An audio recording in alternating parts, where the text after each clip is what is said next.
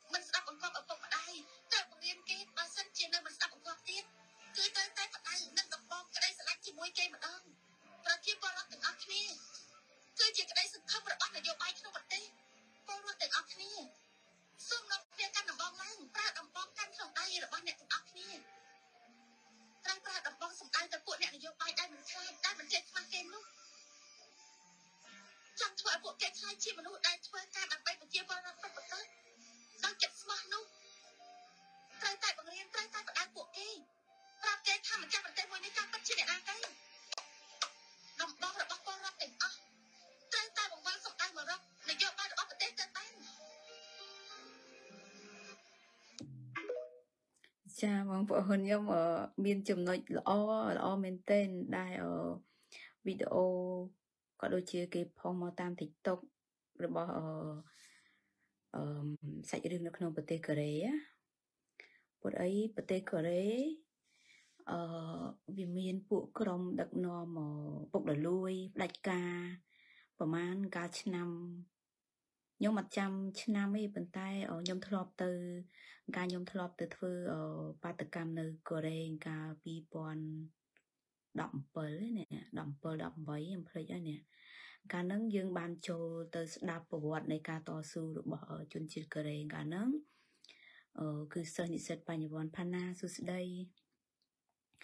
អឺសិស្សនិស្សិតបញ្ញវន្តរបស់គេហ្នឹង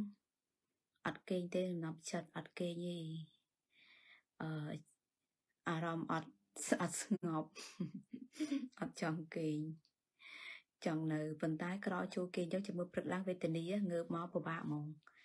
អូ2019នៅផាណាហ្នឹងហើយខ្ញុំធ្វើអីហើយក៏ធ្វើហើយមិនចាំទេហ្នឹងហើយ2019កាលហ្នឹងហ្នឹងហើយហាវីដេអូហ្នឹងហ្នឹងគឺអឺស្ដាប់មកវាសាច់រឿងការឆ្នាំហ្នឹងដែលប្រជាពលរដ្ឋគេងើបមកអឺមិនទុកឲ្យអ្នកនយោបាយធ្វើអីតាមតែអំពើចិត្ត គឺកម្លាំងរបស់ពលរដ្ឋហ្នឹងចាយើងមិនមែនឲ្យអពលរដ្ឋប្រើហិង្សាប្រើអំពើហិង្សាទេប៉ុន្តែអអំការបញ្ចេញមតិនិងការអហិង្សាទាមទារដោយសន្តិវិធីអានឹងគឺមានតែសម្លេងច្រើនរបស់ពលរដ្ឋធ្វើទេអឺខ្ញុំមិនមែនជាអ្នកនយោបាយទេប៉ុន្តែខ្ញុំក៏ជាពលរដ្ឋមួយដែលតាមដានរឿងនយោបាយដែរព្រោះអីអឺ យើងមិនអាចទុករឿងនយោបាយចោលទេដោយសារតែពួកយើងទាំងអស់គ្នាទុករឿងនយោបាយចោលបែបនេះហើយបានជាធ្វើឲ្យប្រទេសជាតិយើងធ្លាក់ដល់ជ្រុះមរណៈនៅដល់ពេលនេះដល់ចំណុចនេះ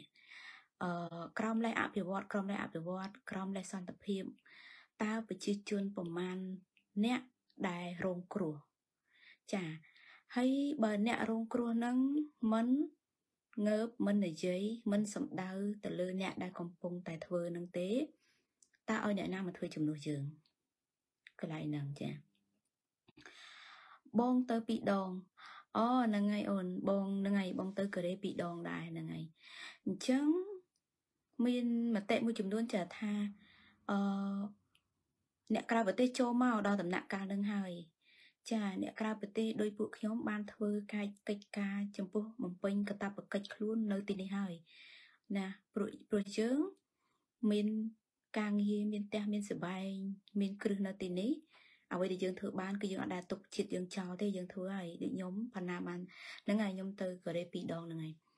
យើងទៅហ្នឹងគឺមិនមែនទៅលេងទេគឺទៅចូលរួមតស៊ូមតិក្នុងការទៀមទាអឺនៅលើសកម្មភាពនយោបាយដែលរដ្ឋាភិបាលដឹកនាំមិនប្រក្រតីមិនបានបំរើនៅអឺកតបកិច្ចក៏ដូចជា ទូនីតិខ្លួនឲ្យពលរដ្ឋគ្រប់គ្នាកុំឲ្យមានបញ្ហាឃើញសុកថៃមានកម្លាំងចិត្តចូលរួមនយោបាយនៅខ្មែរចប់ស្អីស្អីទៅដល់រងគ្រោះតាំងស្រែកអឺអ្នករងគ្រោះខ្លួនឯងអត់ធ្វើតើអ្នកណាធ្វើចាអន្តរជាតិខ្ញុំនិយាយដដែលដដែលហើយខ្ញុំក៏អឺបញ្ជូលបងប្អូនម្ដងទៀត ដូចពួកយើងនៅក្រៅប្រទេសធ្វើការងារទូតអន្តរជាតិគេមានរបៀបការងាររបស់គេអញ្ចឹងបើពលរដ្ឋដែលជាអ្នករងគ្រោះខ្លួនឯងនៅក្នុងប្រទេសនោះដែលជួបរឿងអយុត្តិធម៌នោះហើយអត់ធ្វើអត់និយាយអត់ក្រោកឈរតើគេទៅលូកដៃបោយរបៀបម៉េចចាដោយរបៀបម៉េចបើអ្នកខ្លួនឯងអត់កម្រើកអត់ឈរហើយមិនមែនកម្រើកឈរដោយប្រើហឹង្សាទេគឺតាមនីតិវិធីច្បាប់របស់ពលរដ្ឋ ច្បាប់ពលរដ្ឋដែលមានសិទ្ធិចូលរួមអឺឥឡូវគេតែនយោបាយច្បាប់មកប្រើដាក់ដាក់គណៈបកមកភ្លើងទៀនជាដើមថ្មីថ្មីហ្នឹងយើងឃើញណាគេតែងតែយកច្បាប់ហ្នឹងមកប្រើដាក់ទៅលើគណៈបកភ្លើងទៀនក៏ដូចជាប្រជាពលរដ្ឋផ្សេងផ្សេងទៀតក៏គេប្រើយុទ្ធសាស្ត្រឲ្យយុវជនក៏ដូចជាប្រជាពលរដ្ឋផ្សេងផ្សេងទៀតទៅធ្វើសកម្មភាពចុះចូលឬក៏ ទៅខ្លំមើលអ្នកដែលគាត់មានឆន្ទៈក្នុងការចូលរួមជួយផ្លាស់ប្ដូរសង្គមណាដូចជាគាត់ជាតំណាងនៅភូមិនៅឃុំរបស់គណៈបកភ្លើងទៀនអញ្ចឹងគឺមានកងឆ្លូបកងការពារស្អីគេទេទៅចុះតាមដានចុះមើលតាមផ្ទះតាមភូមិគាត់ហ្នឹងណាអឺវាជារឿងដែលធ្វើការបំផិតបំភ័យណាហើយថ្ងៃនេះមួយទៀតខ្ញុំឃើញវីដេអូក៏ដូចជាការផុសនៅលើ Facebook របស់អឺ យុវជនម្នាក់ដែលគាត់ជាអតីតរបស់គណៈបកភ្លើងទៀនដែរហើយគាត់ក៏បានទៅចូលរួមជាមួយគណៈបកប្រជាជនខ្ញុំក៏មិនជំទាស់ចំពោះសិទ្ធិរបស់គាត់ទេនឹងជាសិទ្ធិរបស់គាត់ចាប៉ុន្តែគាត់ជាអ្នកដែលរងគ្រោះផ្ទាល់គាត់ជាអ្នកដែលជួបរឿងអយុត្តិធម៌ហើយគាត់ទៅខ្ញុំគិតថាគាត់នឹងមានបំណងអ្វីអឺមាន ទឹកចិត្តបែបម៉េចខ្ញុំមិនដឹងទេអានឹងមនុស្សយើងយើងមិនអាចមើលគេទៅសម្បកក្រៅទេ សំខាន់បេះដូងរបស់គេទៅឬក៏ខ្លួនគេទៅបេះដូងគេមិនទៅឬក៏គេទៅដើម្បីកិច្ចការអឺព្រោះយើងអត់មានអំណាចគ្រប់គ្រាន់ទេជួនកាលគាត់ទៅទៅដើម្បីបានអំណាចនឹងយកអំណាចនឹងទៅជួយបងប្អូនក៏មិនដឹងយកអំណាចនឹងទៅស្នើសុំឲ្យមានការដោះស្រាយក៏មិនដឹងអានឹងយើងអត់ដឹងទេណាចាំមើលបន្តទៅទៀតនឹងហើយយើងកុំប្រតិកម្មអឺចំពោះអ្នកដែលគេអឺ ធ្វើនឹងយើងចាំមើលតាមពេលវេលានឹងទៀតប៉ុន្តែអ្វីខ្ញុំចង់និយាយមួយទៀតហ្នឹងគឺដូចថ្ងៃហ្នឹងអញ្ចឹងឃើញវីដេអូទៅផ្ដួលរំលំផ្លាករំលំបង្គោលរបស់គណៈបកភ្លើងទៀនហ្នឹងខ្ញុំឃើញអញ្ចឹងខ្ញុំក៏កំពុងតែនៅជាមួយចិត្តមិត្តភ័ក្តិជប៉ុនរបស់ខ្ញុំក៏ខ្ញុំបានបង្ហាញវីដេអូហ្នឹងទៅគាត់មើលគាត់ថាគាត់គឺវិក្បាលហ្មងគាត់ថាអឺ នៅក្នុងប្រទេសជាប្រជាធិបតេយ្យมันអាចធ្វើចរិតបែបនឹងចេញបានមកទេมันអាចធ្វើទង្វើបែបនឹងបានទេគឺជាទង្វើខុសច្បាប់គឺជាទង្វើអសិលធម៌គឺជាទង្វើដែលថោកមែនទែនគឺធ្វើបែបហ្នឹងគឺអឺគេចាប់ភ្លាមហ្មងណាគេចាប់ភ្លាមគេបើនៅស្រុកគេហ្នឹងគឺបើសិនទៅទៅផ្ដួលទៅយកផ្លាករបស់គេថតវីដេអូផុសនៅលើបណ្ដាញអញ្ចឹងទៀតអូគេចាប់ភ្លាមហ្មងអឺព្រោះអី អឺច្បាប់របស់គេអត់មានលំអៀងទៅខាងណាទេអ្នកណាធ្វើខុសគឺគេចាប់ភ្លាម គឺគេអនុវត្តច្បាប់ភ្លាមអញ្ចឹងខ្ញុំឃើញវីដេអូហ្នឹងខ្ញុំឲ្យពួកគាត់មើលដែរគាត់ក៏កវីក្បាលខ្ញុំកវីក្បាលគឺថាអឺអារៀណៃអារៀណៃគឺថាវាមិនអាចគឺគឺមួយមួយកវីក្បាលហ្មងខ្ញុំខ្ញុំឃើញបែបនេះខ្ញុំថានេះឯងស្រុកខ្មែរស្រុកខ្មែរគឺអញ្ចឹងអញ្ចឹងណាហើយ កម្មករក្រៅស្រុកហាយសួស្ដីអូនអឺខ្ញុំឃើញបែបហ្នឹងខ្ញុំក៏ហួចចិត្តដែរហើយយើងត្រូវគិតមើលថាអឺបងប្អូនខ្ញុំនៅតែមានក្តីសង្ឃឹមនៅតែជឿជាក់ថាខ្មែរអាចធ្វើបានព្រោះអីប៉ុន្តែក៏ខ្ញុំមានការទុច្ចចិត្តមួយដែរដែលឃើញខ្មែរធ្វើ ទង្វើបំផ្លាញខ្មែរខ្លួនឯងគឺអាវប្បធម៌ក្តិចត្រួយនឹងមួយហើយនឹងខ្លួនឯងជាអ្នករងគ្រោះខ្លួនឯងជាអ្នកទទួលនៅរឿងអយុត្តិធម៌ប៉ុន្តែទៅអមដំណើរឲ្យពួកមានអំណាចនឹងមកធ្វើរឿងអយុត្តិធម៌នឹងបន្ថែមទៀតមកធ្វើទង្វើអសិលធម៌នឹងបន្ថែមទៀត ហើយខ្ញុំឃើញទង្វើដែលពួកគាត់ទៅដើរដើរទៅតាមផ្ទះតាមភូមិរបស់ដោយថាមានប្រធានភូមិឬក៏តំណាងឲ្យស្ត្រីនៅក្នុងគណៈបកភ្លើងទៀនចឹងគឺគាត់ទៅទៅលោបមើលឬក៏ទៅ ទៅបញ្ចុះបញ្ចូលទៅតាមដានផ្ទះរបស់ពួកគាត់នឹងរាល់ដងគាត់មិនដែលទៅទេថ្មីថ្មីនឹងទៅហើយនិយាយនិយាយបញ្ចុះបញ្ចូលអីទៅខ្ញុំថាវាមិនខុសពីរឿងអខ្ញុំធ្លាប់ចាស់ចាស់គាត់និយាយប្រាប់ខ្ញុំថាមិនខុសពីសម័យពលពតអញ្ចឹងណាគឺទៅតាមទៅមើលអញ្ចឹងណាគឺធ្វើការបំផិតបំភ័យគាត់ណាគាត់ថាគាត់ពិបាកមែនទែនគាត់គាត់ទៅរស់នៅគេដឹងថាបេះដូងគាត់បែបណាចាគេដឹងហើយតែអ្នកដែលទៅហ្នឹងគឺមុខខ្មែរហ្មងមុខខ្មែរនិយាយខ្មែរ និយាយទៅគឺជនជាតិខ្មែរមកមើលទៅអញ្ចឹងបានខ្ញុំចេះតែគិតថាចុះជាជនជាតិខ្មែរហេតុអីមកធ្វើរឿងដាក់ខ្មែរបែបហ្នឹងអញ្ចឹងហើយអាទង្វើដែលទៅបណ្ដួលហើយយកបថៅទៅកាប់អាភ្លើងអាប៉ាយបកគោរបស់គណៈបកភ្លើងទៀនណាហើយមើលទៅមុខមាត់គាត់សាច់ឈាមគាត់គឺខ្មែរហ្មងអត់មានជួនអត់មានបរទេសណាទេគឺខ្មែរហ្មងហើយខ្ញុំក៏មានមានមានអារម្មណ៍មួយថា ខ្មែរគ្មានអ្នកណាបំផ្លាញខ្មែរពេលនេះគឺខ្មែរបំផ្លាញគ្នាឯងនឹងគឺដោយពលពតចឹងគេខ្ចីដៃពលពតសម្រាប់ខ្មែរចាខ្មែរសម្រាប់ខ្មែរនឹងខ្មែរធ្វើបាបខ្មែរខ្មែរបំផ្លាញខ្មែរដល់ពេលវេលានឹងទៀតហើយអញ្ចឹងខ្ញុំសូមលើកទឹកចិត្តឲ្យបងប្អូនទាំងអស់គ្នាកុំកុំបាក់ទឹកចិត្តព្រោះឥឡូវនៅនៅប្រទេសជិតរបស់យើង គឺប្រទេសថៃប្រទេសដែលគេកាន់ប្រជាធិបតេយ្យគឺគេបានងើបផ្លាស់ប្ដូររបបដឹកនាំបានហើយចា ចឹងយើងកុំអស់សង្ឃឹមតន់ដែលយើងមិនតន់ធ្វើបងប្អូនសួរខ្លួនឯងថាគ្រប់គ្នាបានធ្វើអីនៅចឹងណាបានចូលរួមអីនៅ បានលះបង់អីខ្លះនៅ ចាហើយបានប្រើយកច្បាប់នឹងទៅប្រើតបតបតទៅប្រើទប់ទល់ទៅបកស្រាយជូនគេវិញអត់បើគេបើគេសើជ្រាវសួរថាចង់ឲ្យបញ្ចេញអអានឹងដូចសម្បត្តិកំណើតរបស់គណៈបកភ្លើងទៀនអញ្ចឹងណាឲ្យបញ្ចេញមកឲ្យបញ្ចេញសម្បត្តិកំណើតនឹងមក អញ្ចឹងយើងបាត់ឧទាហរណ៍ថាយើងបាត់អញ្ចឹងយើងទៅកន្លែងក្រសួងដែលគេកាន់កាន់សម្បត្តិកំណើតនឹងគេអាចនឹងបញ្ចេញឲ្យយើងឬក៏ធ្វើអឺលិខិតថ្មីឲ្យយើងហើយបញ្ជាក់ឲ្យយើងបានហើយតែនឹងគេអត់ធ្វើឲ្យដោយសារអីចេតនាអញ្ចឹងចេតនានឹងអ្នកណានៅពីក្រោយនឹងចេតនានឹងបងប្អូនអានឹងសម្រាប់ខ្ញុំយល់ខ្ញុំថាមិនមែនជាចេតនាដែលខ្មែរចង់ធ្វើបាបខ្មែរគ្នាឯងទេបើខ្មែរគ្នាឯងគឺជួយសម្រួលគ្នាហើយចំពោះឯកសារប៉ុណ្ណឹងហ្នឹង ដូចខ្ញុំបាត់កាតបាត់អីចឹងពេលទៅអញ្ចឹងគឺគេធ្វើឲ្យហើយគេគ្រាន់តែវាយឈ្មោះយើងទៅគឺចេញឲ្យប្រវត្តិអញ្ចឹងបើគេសួររឿងហ្នឹងអញ្ចឹងយើងសួរវិញទៅថាអឺប្រវត្តិរបស់ឯកសាររបស់គណៈបកប្រជាជនកាលឆ្នាំប្រមាណ1954នេះចាហើយមានលិខិតនឹងបញ្ជាក់អត់យើងសួរឲ្យគេបង្ហាញមកវិញមកចាអញ្ចឹងយើងចេះ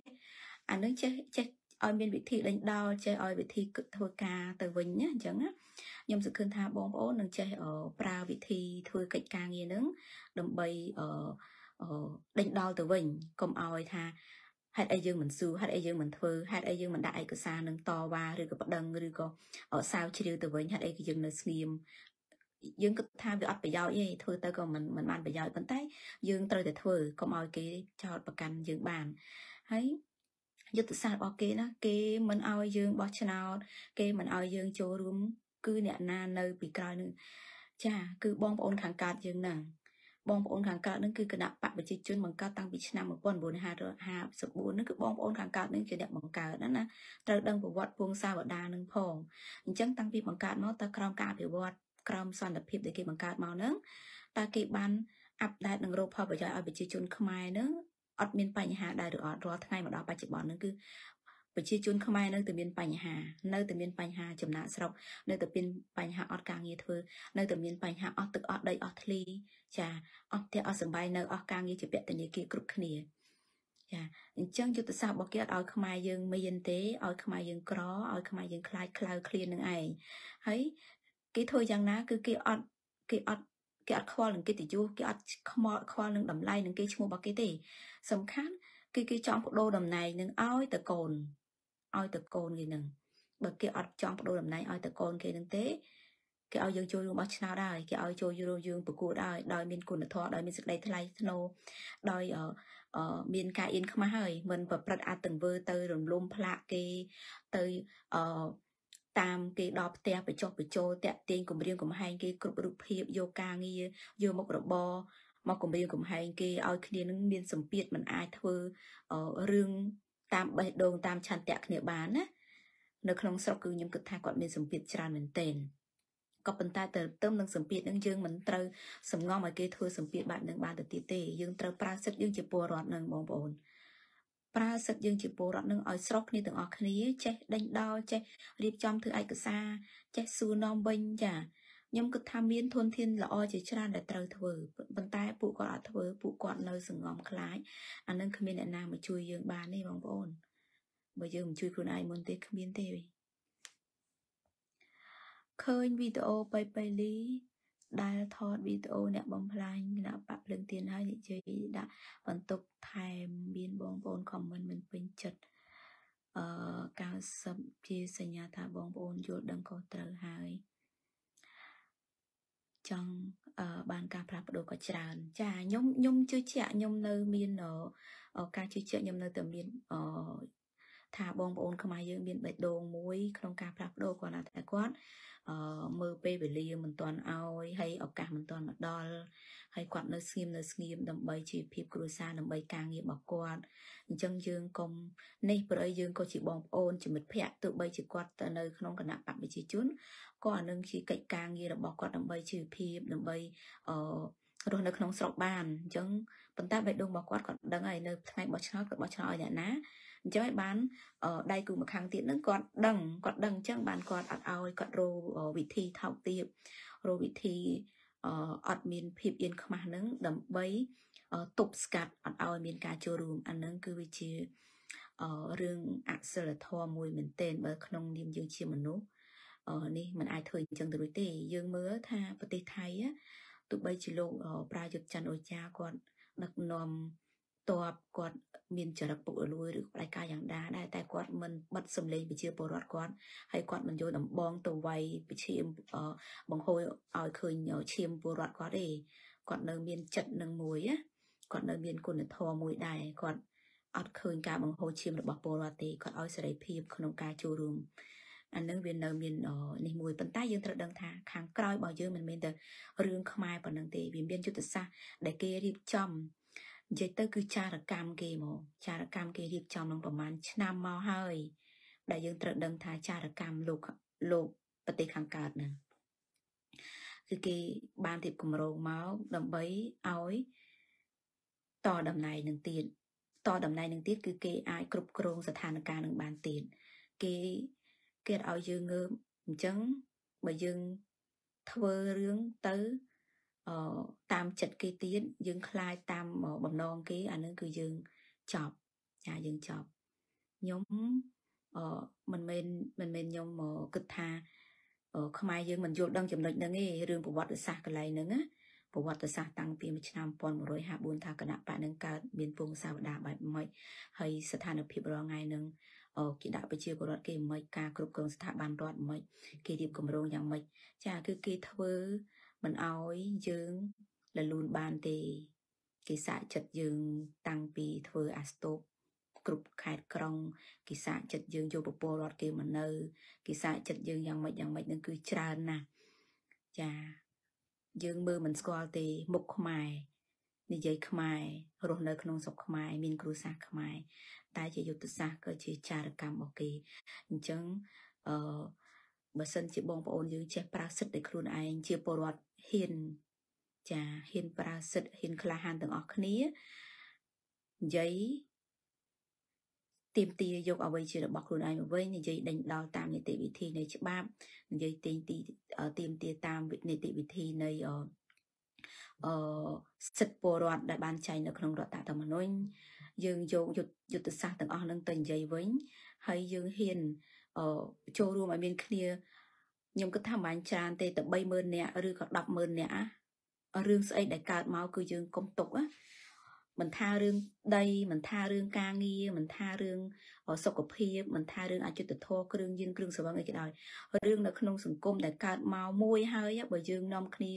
រាប់ម៉ឺនអ្នកនឹងមិនប្រតិកម្មមិននិយាយទេសំបីតការកាប់ដើមឈើសំបីតរឿងកោះរឿងអីក៏ដោយ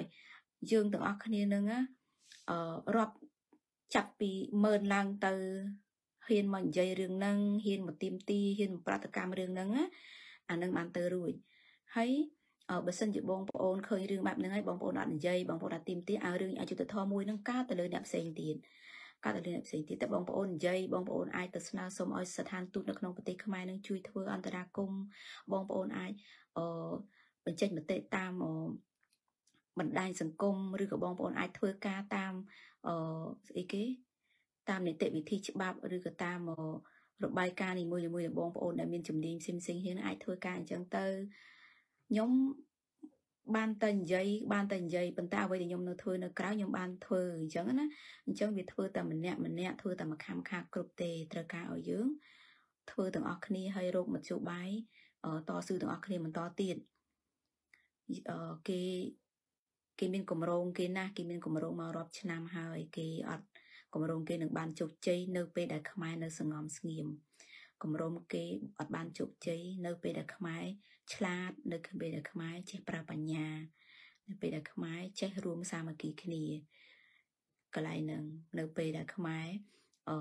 យកសិទ្ធិសញ្ញាទីក្រុងប៉ារីសនឹងមកនិយាយអញ្ចឹងបើសិនជាបងប្អូនងាប់អូបងប្អូនងាប់បងប្អូនងើបអឺរាប់ម៉ឺននាក់ ហើយបើបងប្អូនមានការស្លាប់ចំនួនតែខ្ញុំគិតថាมันបាច់มันបាច់ច្រើនទេមានស្លាប់ក្នុងការងើបនឹងអឺខ្ញុំគិតថាប្រទេសអន្តរជាតិនឹងគេនឹងមិននៅស្ងៀមដែរអឺយើងយើងបើយើងចេះអ្នកក្រៅប្រទេសធ្វើការងារទូតអាចយកឯកសារអាចយករឿងទាំងអស់ហ្នឹងទៅប្តឹងណាទៅប្តឹងអញ្ចឹងគេមានសិទ្ធចូលដោយមិនបាច់សុំការអនុញ្ញាតទេវាខុសពីឡាវបើឡាវអូខុសពីភូមាបើភូមា បើភូមាมันអាចចូលបានដោយគ្មានការអនុញ្ញាតរបស់ប្រទេសនឹងទេប៉ុន្តែខ្មែរយើងបើសិនជាមានរឿងកាប់សម្លាប់មានរឿងអឺចលាចលណាមួយធ្វើឲ្យពលរដ្ឋមានការបង្ហូរឈាមស្លាប់ពលរដ្ឋអន្តរជាតិមានសិទ្ធិចូលភ្លាមភ្លាមដោយសារគេជាម្ចាស់សិទ្ធិសញ្ញានឹងខ្ញុំសូមមើលខមមិនណាខ្លាចចាញ់ឆ្នោតធ្វើបាបគណៈបកភ្លើងទៀនដោយឃើញថៃប្រយុទ្ធ ច័ន្ទអូចាចានឹងខ្ញុំសូមសរសើរថាលោកច័ន្ទអូចាគាត់មានសេចក្តីថ្លៃថ្នូរចាគាត់មានសេចក្តីថ្លៃថ្នូរគាត់ក្លាហានខ្ញុំធ្លាប់ដឹងថាមានអ្នកធ្វើការរាជការកាន់តំណែងធំជាច្រើនក៏គេមិនពេញចិត្តសង្គមសប្តាហ៍ថ្ងៃមានដឹកនាំសប្តាហ៍ថ្ងៃគេមិនអាចនិយាយបានចាខ្ញុំដឹងខ្ញុំដឹងថាបងប្អូននៅក្នុងនឹងធ្វើពេទ្យធ្វើអឺគ្រូធ្វើមេធាវី អឺអ្នករស់ស៊ី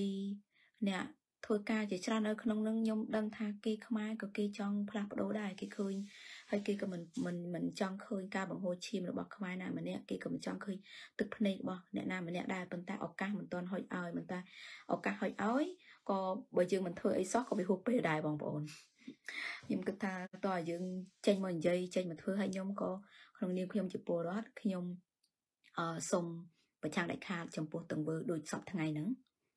ទង្វើដូចសពថ្ងៃហ្នឹងទង្វើទី1អឺគៀបសង្កត់សម្លេងពលរដ្ឋមិនអោយបញ្ចេញមតិ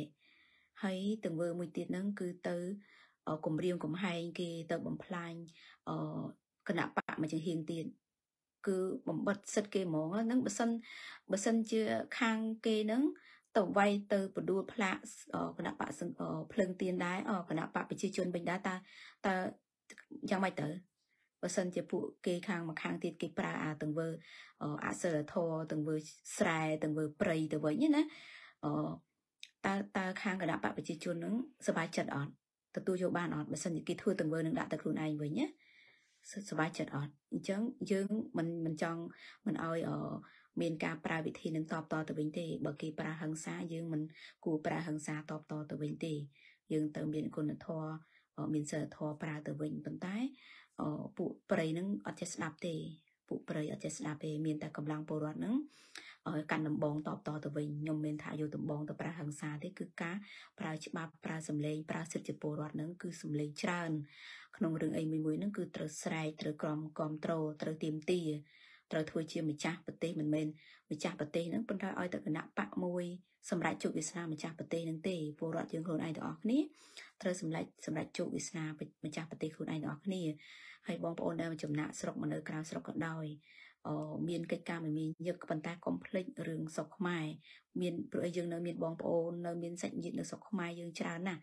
អឺដែលគាត់នឹងអាចទទួលរងគ្រោះយើងមកនៅក្រៅវាផុតប៉ុន្តែអ្នកនៅក្នុងស្រុករងគ្រោះបន្តទៀតអញ្ចឹងណា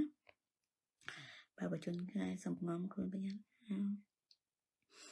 បើប្រជាជនខ្មែរនៅសំងំខ្លួនប្រយ័ត្នអស់ខោអាវអស់ខោអាវអស់ស្រូវពូជទៀតណាបងខ្មែរខុសពីថៃដោយសារយួននៅពីក្រោយអ្នកដឹកនាំអាយ៉ងយួនទៅទៀតបើបងប្អូនមិនក្រៅឡើងវាសនាកម្ពុជានឹងដូចឡាវឬកម្ពុជាក្រមទី2ចាពិតណាអឺកន្លែងហ្នឹងខ្ញុំតែងតែនិយាយដដែលដដែលហ្នឹងណាយើងមិនអាច បកគលការងារនឹងឲ្យទៅអ្នកនយោបាយមិនគល់មិនគួរបកគលការងារនឹងឲ្យទៅគណៈបកភ្លើងទៀនឬគណៈបកណាផ្សេងផ្សេងឬក៏ត្រឹមតែអ្នកនយោបាយធ្វើទេយើងជាពលរដ្ឋនឹងគឺយើងត្រូវតាមដានត្រូវចេះអឺផ្ដើមធ្វើទាំងអស់គ្នាចាប់ផ្ដើមពីខ្លួនយើងទាំងអស់គ្នាអឺរបបមួយដែលដឹកនាំបានណាអឺផ្លាស់ប្ដូរបានណាមិនមែនតអ្នកនយោបាយមិនមែនតគណៈបក ប្រមាណនឹងធ្វើបានទេវាទឿតែសំលេងសិស្សនិស្សិតបញ្ញវន្តបងប្អូនខ្មែរទាំងអស់គ្នាស្រុកគ្នាទៅធ្វើដែរនឹងបានវាផ្លាស់ប្ដូរអារបបដឹកនាំក្រៅអំណាចនឹងបានព្រៃគេចាក់គ្រឹះចាក់មិនចាក់ធៀងហើយមិនមែនងាយស្រួលទេហើយយើងមិនអាចអឺទៅទប់ដែលទឹកកំពុងហូរខ្លាំងនឹងបានទេវាតតែកម្លាំងយើងច្រើនណាស់បានយើងទៅទប់ទឹកដែលកំពុងហូរនឹងបានព្រោះអីគេកំពុងតែ បាញ់ហូរមកឡើងប្រហែលឆ្នាំហើយឃើញជាជោគជ័យមកដល់ត្រឹមណាហើយគឺគេអត់ខ្វល់នឹងអ្នកណាថានឹងសម្ពាធអន្តរជាតិនឹងអ្នកណាអត់ការងារធ្វើនឹងអ្នកណាអត់បាយនឹងអ្នកណាក្បែកក្បាលនឹងអ្នកណាស្លាប់គេអត់ខ្វល់ទេសំខាន់គឺគេចង់គ្រប់គ្រងប្រទេសយើងដឹកនាំប្រទេសយើងបន្តតំណែងឲ្យកូនឲ្យចៅទៅពេលណាក្បាលម៉ាស៊ីននឹងបន្តតំណែងឲ្យមកកូនគាត់ម្នាក់ទៀតនឹងបានហើយគឺជោគជ័យគឺបងប្អូនខាងកើតយើងនឹងឯងចាបងប្អូនខាងកើតយួននឹងគាត់ជោគជ័យមក ចាបងប្អូនត្រូវដឹងថាខាងកើតគឺគ្រប់គ្រងនយោបាយខាងលិចគ្រប់គ្រងសេដ្ឋកិច្ចតែសេដ្ឋកិច្ចយើងអាចមានវិធីរើរួចបាននេះទេតែអានយោបាយហ្នឹងណាបើបងប្អូនខាងកើតនឹងគ្រប់គ្រងបានហើយគឺអឺយើងពិបាកនឹងរើវិធីរើមួយគឺមានតែបងប្អូនខ្លួនឯងដូចខ្ញុំនិយាយចឹងប្រើ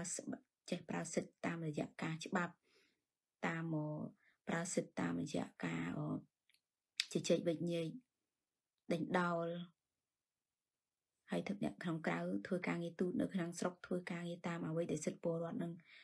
មានរឿងអយុធធម៌កន្លែងណាត្រូវទៅស្រុកគ្នាទៅជួយនៅកន្លែងហ្នឹង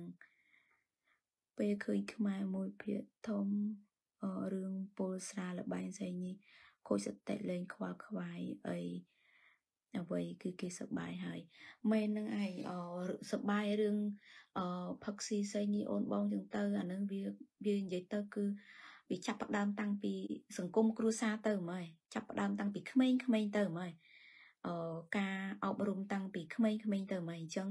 អឺយើងឃើញថាយុវជនថៃមានការងើបមានការស្រុកគ្នាល្អដោយសារក្នុងសង្គមគ្រួសាររបស់ប្រជាជនថៃឪពុកម្ដាយគេបានបដៅកូនគេទៅហើយឪពុកម្ដាយគេបានបដៅឲ្យកូនគេនឹងស្រឡាញ់ប្រទេសជាតិឲ្យកូនគេនឹងដឹងឮរឿងនយោបាយឲ្យកូនគេនឹងមើលព័ត៌មានចំពោះ បញ្ហានយោបាយអ្នកបញ្ហានយោបាយអ្នកនយោបាយថ្ងៃហ្នឹងធ្វើអីចាតំណាងរាស្ត្រមួយណាកំពុងធ្វើអីតំណាងរាស្ត្រមួយណាធ្វើអីគឺអ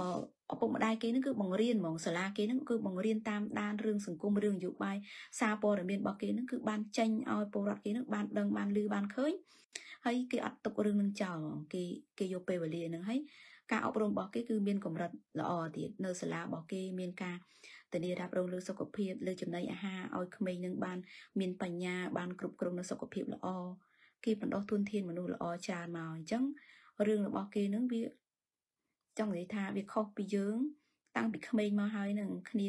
មិនបានទៅរៀនគ្នាមិនបានញ៉ាំឆ្អែតគ្នាមិនបានគេងគ្រប់គ្នាមិនបានការអប់រំល្អអញ្ចឹងធំមកគឺគ្នារវល់នឹងរឿងកាពះឪពុកម្ដាយឆ្លោះប្រកែកគ្នា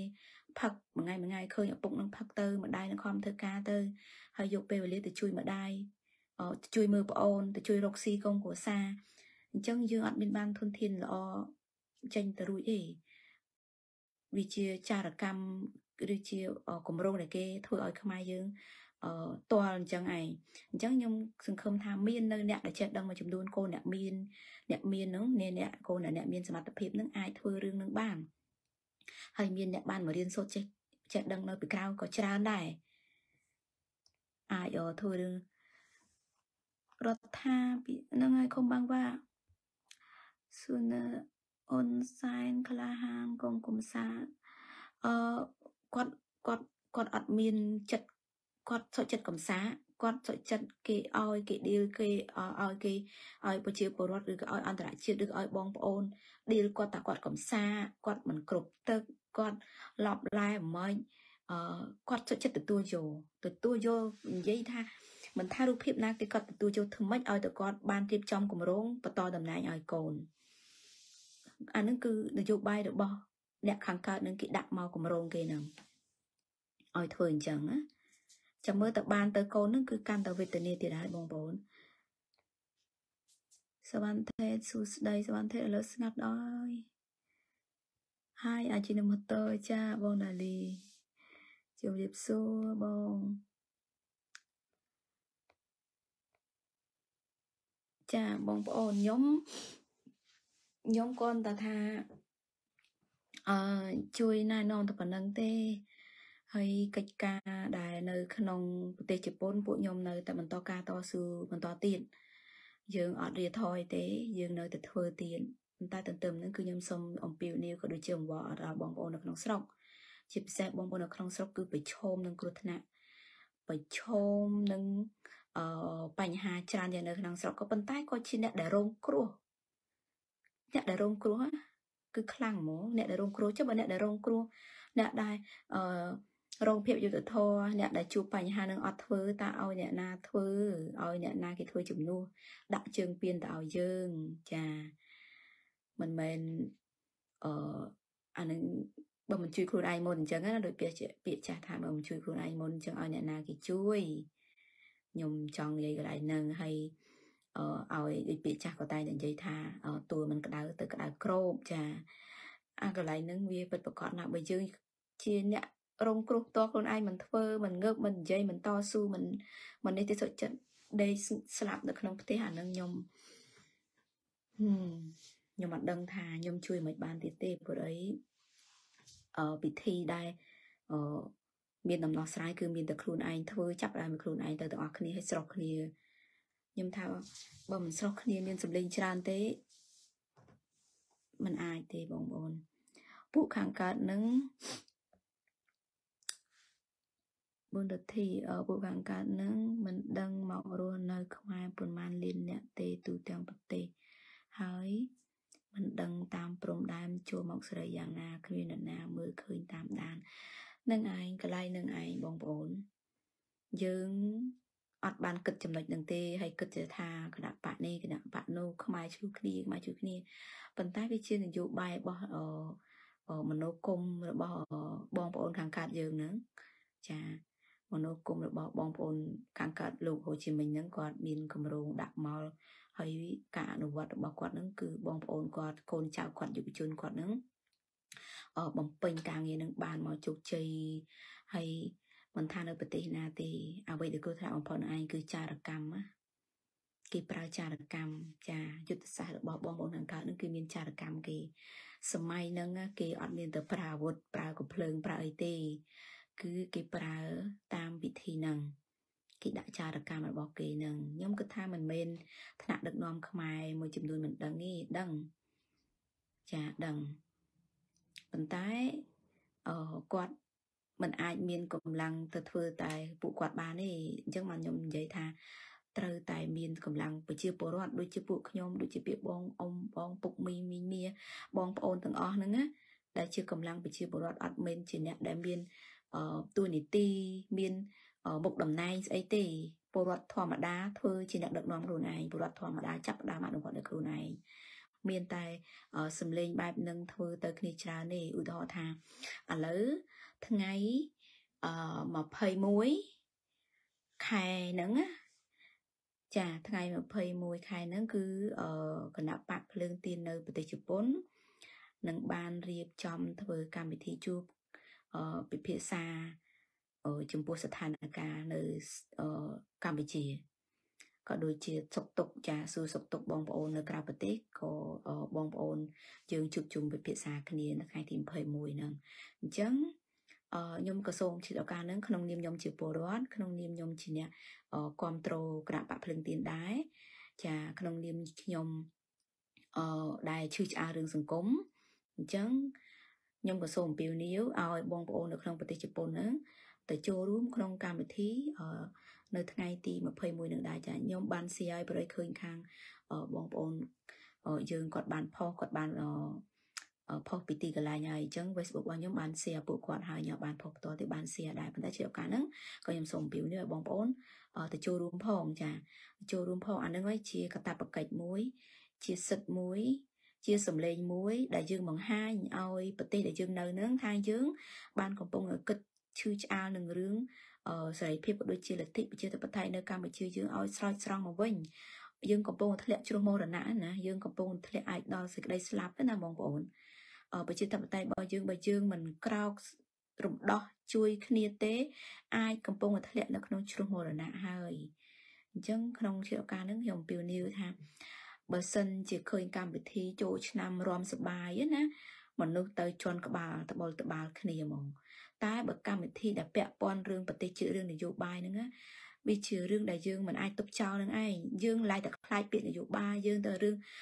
ទុករឿងនយោបាយចោលបែបហ្នឹងឯងដែលធ្វើឲ្យប្រទេសយើងធ្លាក់ដល់កម្រិតហ្នឹងនេះយើងទៅគិតថា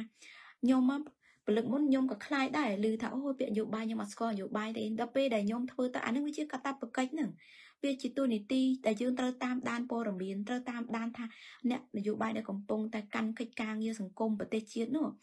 គាត់បាននាំប្រទេសជាតិទៅរីចម្រើន បានរកដំណោះស្រាយឲ្យបងប្អូនគ្រប់គ្នាបាននៅនៅពេលដែលមានបញ្ហាហ្នឹងតែយើងមើលតែអត់មានទេអញ្ចឹងយើងត្រូវតែមានវិធីផ្លាស់ប្ដូរគាត់ចេញផ្លាស់ប្ដូរដោយសម្លេងអ បោះឆ្នោតហ្នឹងដោយសម្លេងមិនពេញចិត្តដោយសម្លេងទៀមទាប្រតិកម្មទៅវិញ ចឹងយើងនៅក្រៅប្រទេសយើងអត់ពេញចិត្តនៅការដែលរំលោភទៅលើសេរីភាពរំលោភនៅលទ្ធិប្រជាធិបតេយ្យរំលោភនៅសិទ្ធិសេរីភាពក្នុងការបញ្ចេញមតិក្នុងការចូលរួមនយោបាយរបស់ប្រជាពលរដ្ឋក្នុងការទៅបំផ្លាញផ្លាករបស់គេ ក្នុងការទៅគៀបសង្កត់ក្រុមគ្រួសារគេ ក្នុងការទៅតាក់ទាញគេនៅផ្ទះព្រឹកល្ងាចព្រឹកល្ងាចទៅគម្រាមធ្វើទុកបុកម្នេញឲ្យគេមានសតិអារម្មណ៍មិន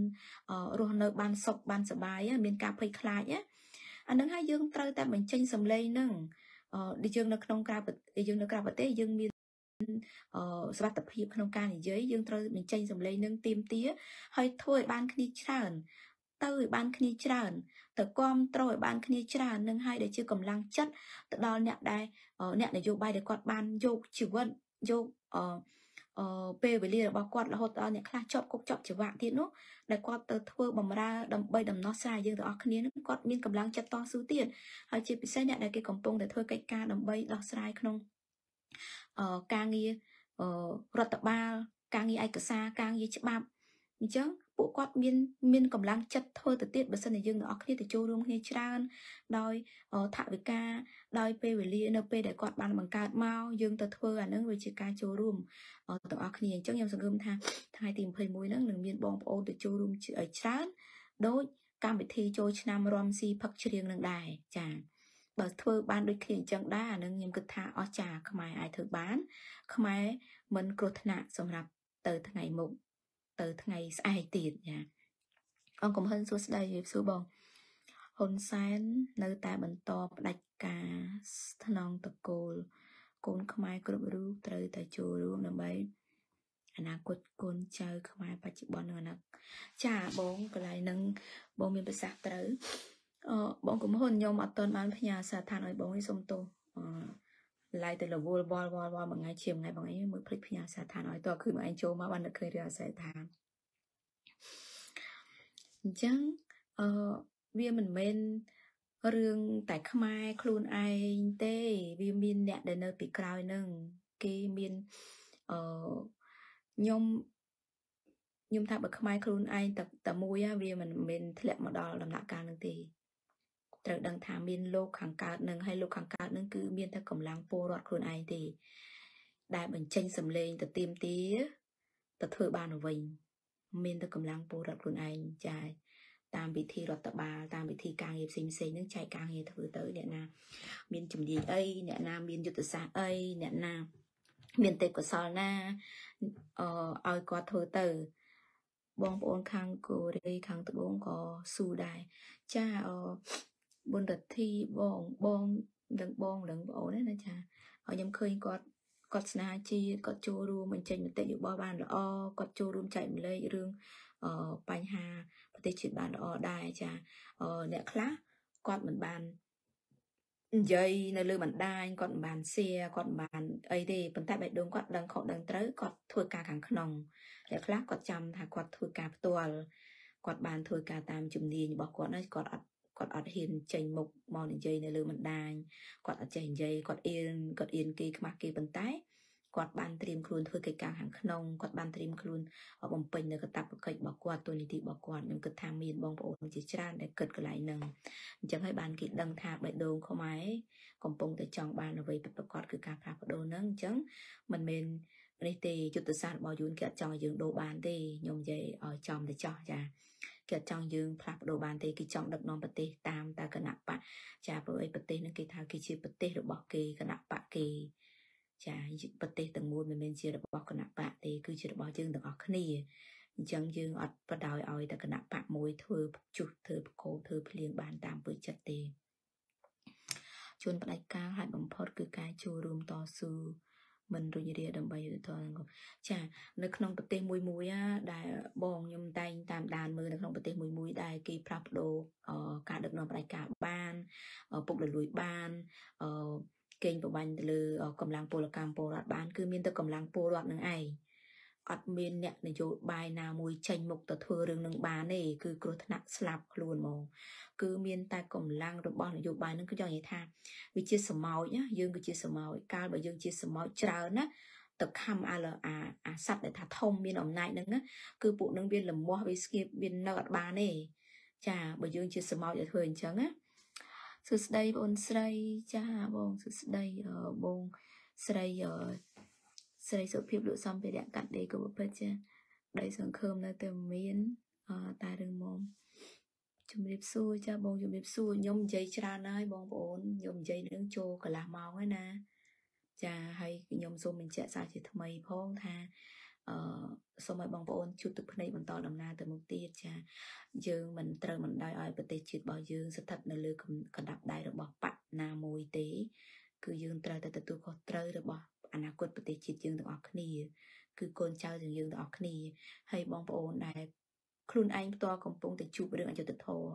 បងប្អូនខ្លួនឯងផ្ទាល់ដែលគេកំពុងតែវាយបងប្អូនខ្លួនឯងផ្ទាល់ដែលគេកំពុងតែធ្វើឲ្យបែកក្បាលហូរឈាមបងប្អូនខ្លួនឯងដែលគេកំពុងតែកេងប្រវ័ញ្ចយកដីយកផ្ទះចាហើយបងប្អូនមួយចំនួនដែលមិនទាន់បានជួបគ្រោះថ្នាក់តែឃើញកំ ពើអយុត្តិធម៌នឹងកុំឲ្យអង្គើអយុត្តិធម៌នឹងកើតទៅលើអ្នកផ្សេងទៀតអញ្ចឹងគិតកុំគិតថាមិនមែនរឿងយើងត្រូវគិតថានឹងជារឿងយើងហើយចូលរួមឲ្យមានសម្លេងច្រើនទាំងអស់គ្នា ចាអ្វីដែលទៀមទាបានគឺទៀមទាទៅ បញ្ចេញសម្លេងទៀមទាហែគ្នាបានតែ2 30000នាក់ទៅនិយាយទៅបើសិនជានៅតាមខេត្តទាំងអស់គ្នា មានប្រព័ន្ធតំណតំណងគ្នាបានណាគឺយើង នៅថៃគេមានប្រព័ន្ធមួយដែលគេតាក់ទងគ្នាបានដោយមិនដោយមិនអាចគ្រប់គ្រងដោយរដ្ឋាភិបាលណា